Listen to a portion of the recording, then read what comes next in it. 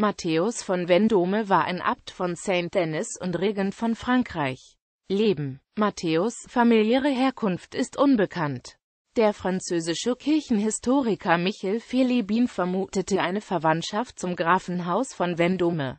Was aber durch keine zeitgenössische Quelle belegt ist, er war Benediktiner und ein Beichtvater König Ludwigs IX. Von Frankreich 1258 wurde er zum Abt der königlichen Abtei von Saint-Denis ernannt. Unter seiner Aufsicht wurden umfangreiche Baumaßnahmen an der Abtei vorgenommen, die um das neu gegründete College des Charité erweitert wurde.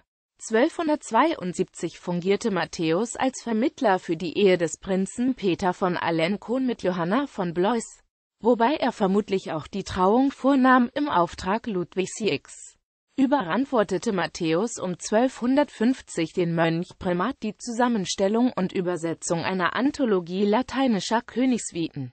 Das so entstandene Werk der Roman Auxreus konnte 1274 König Philipp III präsentiert werden und bildet die Basis der Grandes Chroniques de France. Matthäus übernahm zweimal die Regentschaft des Königreiches. Zuerst 1270 gemeinsam mit Simon II de Clermont, nachdem König Ludwig IX. zum siebten Kreuzzug aufgebrochen war.